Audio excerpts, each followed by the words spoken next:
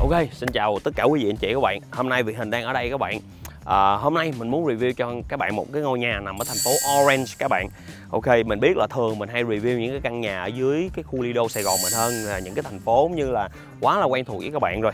Như Garden Grove, Westminster, Huntington Beach, Fountain Valley này nọ. Nhưng mà hôm nay mình muốn gửi đến mọi người một cái thành phố nói chung là cũng không có xa lạ gì với rất là nhiều người ở đây. Nhưng mà có thể là trong cái cộng đồng người Việt mình, quý vị, anh chị và các bạn chưa có để ý đến thành phố này nhiều các bạn.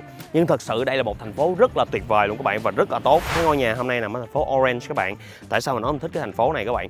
Bởi vì cái chất lượng sống, cuộc sống ở thành phố này rất là tuyệt vời. Thật sự là như vậy. Bởi vì cái đồng tiền các bạn bỏ ra để mua ngôi nhà ở đây, cái chất lượng, cái neighborhood các bạn được nhận lại rất là yên tĩnh, rất là sạch sẽ. Tại vì các bạn biết mà, nhà gần núi thì càng gần núi bắt đầu cây cỏ nó càng nhiều, cây nó rất là nhiều à, xung quanh neighborhood luôn luôn có những cái cây bự rất là nhiều. Nói chung là cái không cảnh chung nó rất là đẹp và không khí cũng rất là tốt nữa các bạn. Nhà ở thành phố Orange đó chính vì là nhà núi cho nên các bạn phải nhớ một điều nè nhà ở khu vực núi lúc nào đất cũng rất là to các bạn. Đất rất là bự. Cho nên là nếu các bạn thích nhà đất bự mà cái đó là cái mình biết rất là nhiều người Việt mình thích nha là nhà đất bự thì Orange là một thành phố các bạn nên nhìn đi. Bởi vì nhà ở đây cũng y chang như Gandro vậy đó. À, trung bình đất 7.000 là chuyện bình thường bình thường ở đây. Đó, như căn ngày hôm nay mình review là đất gần 7.300 rồi các bạn thấy không? Còn nhà ở đây nhiều cái khu vực các bạn càng lên núi đó nhà nó lên tới mười mấy ngàn square feet diện tích đất hai ba chục ngàn square feet diện tích đất là chuyện bình thường các bạn. Rồi những khu có những khu nó rất là đẹp luôn nằm trên đồi view ra toàn thành phố cực kỳ tuyệt vời các bạn. So anyway rồi quay trở lại căn nhà ngày hôm nay nha. Rồi bây giờ mình đang đứng trước nhà ở đây nè các bạn. Thì ở đây á, mình muốn cho các bạn coi sơ cái neighborhood của cái khu vực này là coi như là cái khu cái khu vực khu phố của khu này nha các bạn. Các bạn thấy không? Các bạn thấy rất là nhiều những cái cây to cây cổ thụ nè. Như cái nhà bển các bạn thấy á, hàng xóm ở trong nhà rất là sạch sẽ các bạn thấy không? Nhà mỹ ở đây. Như nhà bển này các bạn thấy gardening landscape đẹp không? Đằng trước có một cái cây thông cổ thụ rất là bự. Cái khu vực khu phố này các bạn các bạn thấy cực kỳ yên tĩnh. Đây là chất lượng cuộc sống ở thành phố Orange các bạn. Rất là yên tĩnh rất là riêng tư. Này các bạn này các bạn thấy không? Đường nè. Các bạn coi đi vắng que không có một chiếc xe đậu trên đường luôn các bạn không có một chiếc xe đậu trên đường là các bạn phải biết là nó yên tĩnh cỡ nào. Thì cái nhà hôm nay em review đó, nó là một căn nhà nằm ngay corner lot luôn các bạn. Nằm ngay góc đường luôn, thì nó hai mặt tiền. Các bạn có thể đậu xe bên đây và đậu xe bên này mặt tiền nữa các bạn. Thì trước nhà đó, cái nhà này là một cái project flip của ờ, investor nó mua, nó flip lại, nó đầu tư, nó bán. Thật sự trước nhà đó, cái phần cỏ, cây này nọ đó, nhìn bây giờ nó hơi sát sơ nhưng mà thật sự là cái này không thành vấn đề. Tại vì không có ai ở đây, người ta không có tưới cây, không có cắt tỉa thì nó nó cỏ vậy mùa này là mùa hè, nó nóng. Không có tưới thì cỏ nó vàng thôi. Cái này về, các bạn chỉ cần tưới nước lại là cho người cắt lại là nó sẽ xanh đẹp lại hết liền. Ok? Thì đó là một mặt tiền ha. Phía bên đây là một mặt tiền, các bạn thấy không? Các bạn có thể đậu xe dài ở đây luôn corner lot hai mặt tiền. Đây đây là cái driveway đi vô đằng trước nhà nè, gara hai xe. Các bạn thấy không? Driveway rất là dài. Thì driveway này dư sức cho các bạn đậu nè RV đậu tàu. Bề dài rất là dài cho các bạn đậu thoải mái nha. Còn nếu các bạn đậu xe đó, trên cái driveway này không, ít nhất các bạn phải đậu được bốn chiếc xe. Easily luôn. Ok? Rồi, bây giờ mời các bạn đi theo chân Việt Hình nha. Mình đi vô trong check out bên trong căn nhà này nha các bạn. Đây là cái chính của nhà. Xin mời mọi người vào.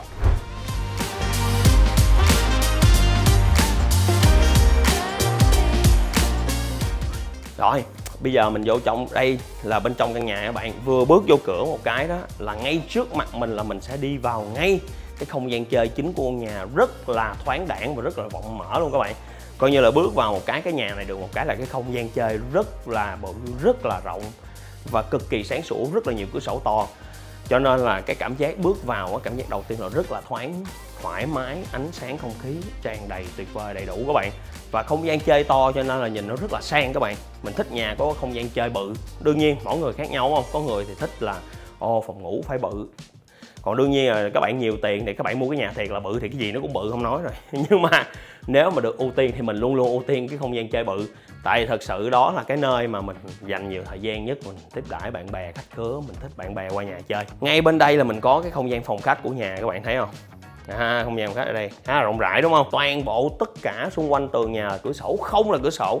Cho nên là cái nhà này thiệt là ban ngày các bạn cũng không cần dùng đến đèn reset light mở điện không tốn điện các bạn. Tại nhà này ban ngày các bạn chỉ cần mở cửa sổ thôi là sáng trưng toàn bộ tường chạy dọc từ trước ra sau cũng cửa sổ to không? Rồi ra tới đằng sau đó cái mảng tường sau đó cũng toàn là cửa sổ store và sliding glass door rất là bự luôn. Mình thích cái layout của không gian chơi nhà này một cái đó, là cái kitchen đó, nó nằm ngay giữa các bạn. Coi như là cái nhà này nó có hai cái không gian giải trí, là một cái living room và một cái family room in the back, right? Nhưng mà cái cái flow, cái design của nó nó đều từ trước ra sau, coi như là các bạn thấy hết được từ living room đến kitchen và đến cái family room luôn. Mặc dù nó vẫn có cái giải ngăn cách giữa giữa kitchen với family room, để mình có ngăn cách ra hai không gian khác nhau.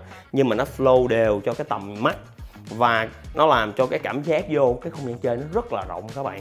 Đó, và cái kitchen nó nằm giữa chia hai bên bên living room, bên family room, ok? Rồi, như các bạn thấy đây, diện tích kitchen cũng rất là rộng, đúng không? Diện tích counter nè, đi theo hình chữ L rất là dài, rất là to luôn. Các bạn để được rất là nhiều đồ cái dạng tủ á, mình rất là thích là cái dạng tủ mà họ chơi ở đây là cái kiểu như là cái glossy panel này nè. Đó là nó rất là láng và rất là mượt và cái loại cái loại tủ này nó cho mình một cái ánh nhìn rất là hiện đại các bạn. Rồi ở trên countertop thì là dark quartz thôi đúng theo cái trending bây giờ cái hiện đại bây giờ ok? Ở đây mình có tủ lạnh ha. Toàn bộ những cái appliances là stainless steel hết theo công rỉ và mới hết nha các bạn. Như các bạn thấy ở đây. Ở đây thì mình cũng có dishwasher và rất là nhiều tủ à, rất là nhiều storage cho mình chứa đồ. Bây giờ mình đi qua past cái kitchen đi là mình sẽ có cái không gian family room dưới đây các bạn. Và cái family room này phải nói là cực kỳ rộng luôn. Cái family room này ở đây easily easily là từ 450 đến 500 square feet diện tích family room các bạn. Nhà remodel mới hết rồi như các bạn thấy không? Ở đằng trước kitchen và phòng living room là một dàn reset light chắc đâu cũng phải mười mấy cái. Rất là nhiều. Và trong phòng family room này các bạn đếm đi. Mình không có mở đèn reset này nha. Tại mình kiếm không ra cái nút các bạn. Nhưng mà mình thấy cũng không cần thiết luôn.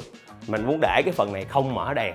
Để các bạn thấy cái sự sáng sủa của ngôi nhà này ban ngày mà không cần tới đèn nó như thế nào luôn các bạn. Đó. Nhưng mà cái dàn đèn đằng sau này các bạn đếm sơ chắc cũng mười mấy cái nữa. Ờ, họ thật sự là không có tiết kiệm tiền gắn đèn luôn các bạn. Ở trong đây nó có một cái không gian nhỏ ở đây thì các bạn có thể sử dụng giống như là để như là một cái office, bàn office làm việc gì đó trong đây, đúng không? Nhưng nó là một phần của family room rất là to, rất là rộng các bạn. Và ở đây đó, là mình có double sliding glass door để mà đi ra ngoài sân, ok? Bên đây thì mình cũng có fireplace luôn. À, có bếp sưởi ở đây các bạn. Mà bếp sưởi này, xài ga nha. Có chìa khóa dặn ga ở đây các bạn. Bếp sưởi xung quanh đi gạch hết rồi, ok? Rồi và góc bên này, riêng một mình nó là cái phòng master của căn nhà. Các bạn, có như riêng một mình nó luôn họ mới dính chung với bên kia. Thì tạo cho cái người ở trong phòng master một sự riêng tư nữa các bạn. So, bây giờ let's go check out cái master trước nha. Tại sẵn mình ở bên đây mời các bạn vào. Đây là cái phòng master bedroom của nhà các bạn. Cái phòng rộng rãi và bự nhất căn nhà, đúng không? Hồi để một cái giường king ở đây. Hai cái nightstand. Khá là rộng rãi các bạn. Bên đây mình cũng có có closet nha. Double door closet đàng hoàng. Và đương nhiên đã là phòng master thì phải có cái phòng bathroom riêng của nó các bạn. Các bạn vào đây nó có một cái không gian ở đây trước các bạn. Giống như là một cái phòng không gian gì đó, thì như ở đây họ sẽ chuyện họ để tủ để mình để quần áo. Mà có thể để tủ, để quần áo ở đây. Không, các bạn có thể gắn shelving này nọ lên để làm giống như một cái closet. Đúng không? Như đây là cái diện tích walk-in closet của mình. Qua cái walk-in closet thì mình sẽ bước vào trong là cái không gian phòng tắm, bathroom, toilet này nọ của nhà các bạn. Đó, double vanity sink đúng không? Double sink hai bên.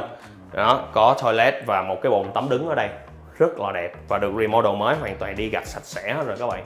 Ok, đó, giống như mình tắm xong, sáng vô, răng rửa mặt, tắm rửa, chuẩn bị xong. Bước ra đây thì sẽ là cái diện tích closet, mình lựa đồ, quần áo này nọ để mình mặc trước khi đi làm. Rồi mình mới bước ra ngoài phòng để mà đi làm, đúng không các bạn?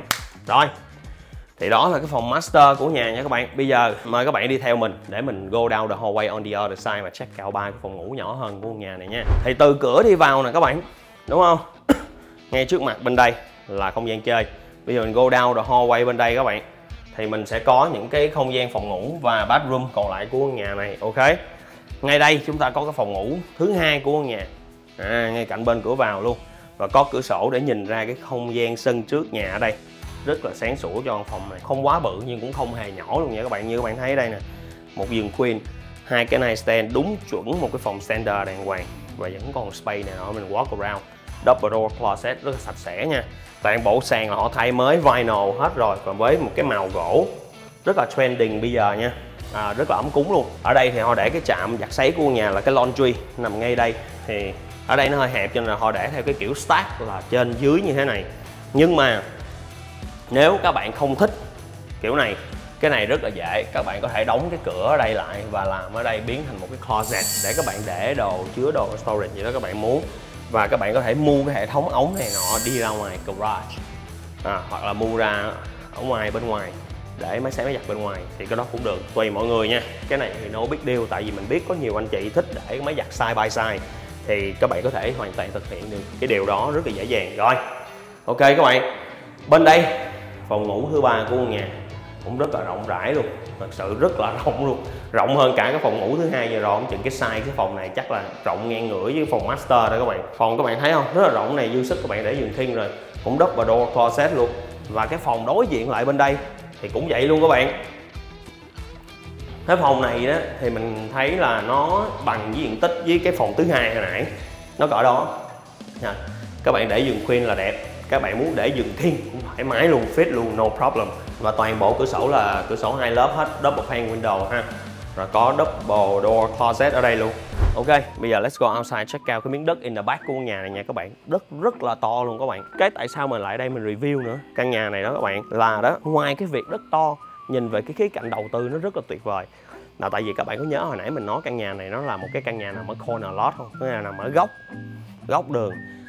Xây nhà để đầu tư phải kiếm miếng đất đẹp để xây ADU đằng sau được đất dư đằng sau nhiều vuông dứt để xây ADU được là một chuyện rồi các bạn.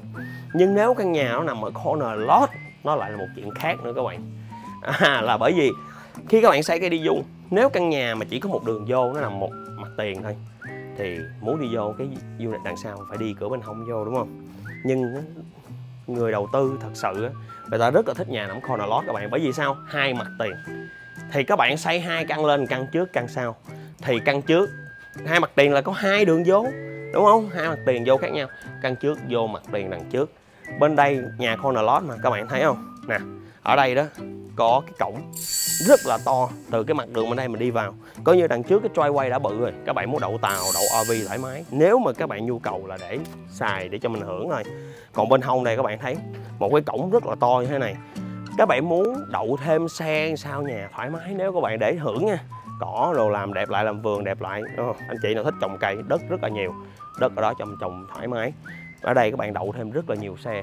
Không thích có av có tàu đồ chơi. Đây mở cửa ra av xe bự cỡ nào cũng fit hết. Vô đây đậu thoải mái rồi cho mình hưởng đúng không? Nhưng nếu các bạn xây Edu á hai mặt tiền. Nhà trước họ đi đường trước. Nhà sau này đi từ mặt tiền bên đây vô mở cái cổng ở đây. Coi như là cái căn nhà sau này thì cái địa chỉ nó đường bên đây căn nhà trước thì địa chỉ đường trước vậy đó đó, nó như nó rất là riêng biệt luôn, nó còn được thêm cái sự riêng biệt từ cái lối đi vào luôn các bạn. À nó tuyệt vời cỡ đó. Thấy không? Hai căn nhà, hai lối đi riêng. Thì cái chuyện đó các bạn chỉ có thể hiện khi căn nhà nằm ở corner lot thôi các bạn. Và đó là cái điều tuyệt vời của căn nhà này nha.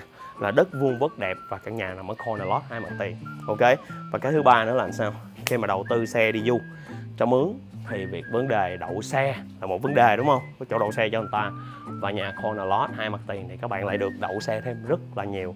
Bởi vì nó giống như hai địa chỉ thôi. Nhà bên đây, các bạn đậu mặt đường đây của các bạn, còn nhà trước, các bạn đậu mặt đường kia của các bạn, đúng không? Rồi, ok các bạn.